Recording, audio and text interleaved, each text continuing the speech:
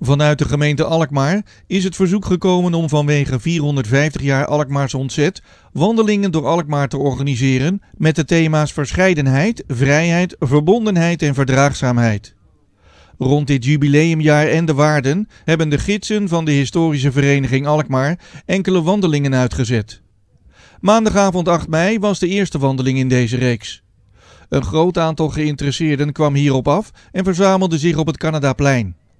Daar werden de deelnemers in groepjes verdeeld om vervolgens met een gids de stad in te trekken. Het thema van deze eerste wandeling was verscheidenheid. Nederland en dus ook Alkmaar heeft door de eeuwen heen onderdak geboden aan kooplieden, vluchtelingen en mensen op zoek naar een beter bestaan.